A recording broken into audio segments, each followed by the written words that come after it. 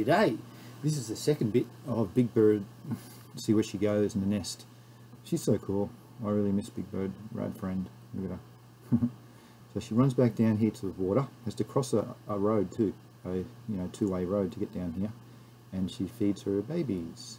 And there's only one of them at the moment. And zoom back and see the nest.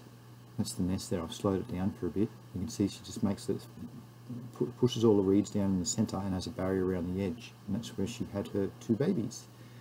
Very safe.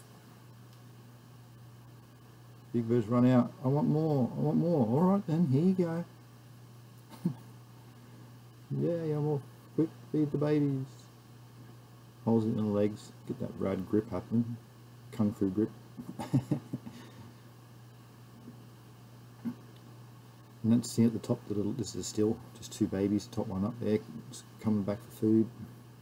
There's cool little babies growing up. This big bird holding in feeding the young. Lovely gosh they got nice colors haven't they? They're really good friendly birds. And the sunset time. See you later. Hope you enjoyed. Thanks for watching. Bye bye